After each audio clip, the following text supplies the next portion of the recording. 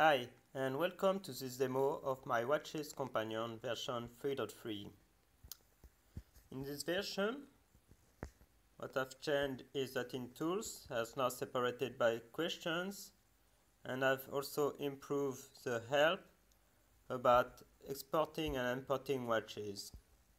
I've noticed that what people like the best about my Watches Companion is the help that you can get the, to move your watch faces to your new phone.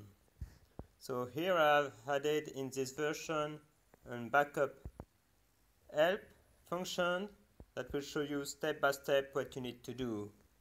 So first you need to create a backup of your watch faces. Then you need to copy the file to, new, to the new phone. Then you can install Watchmaker on your new phone and install my Watches Companion again.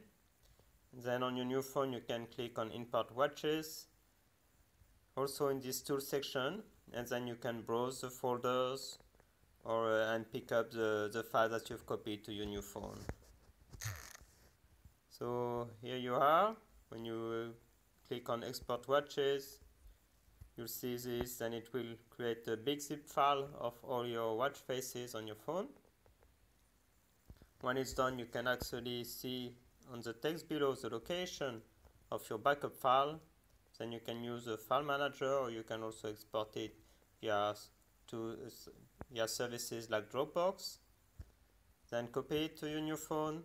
When it's on your new phone you can click on import watches. Then it will pop up for you a file manager.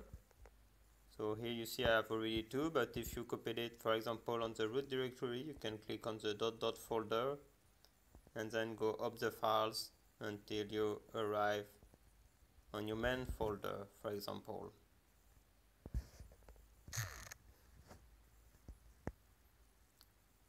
Thank you for watching and stay tuned for more features added to my Watches Companion.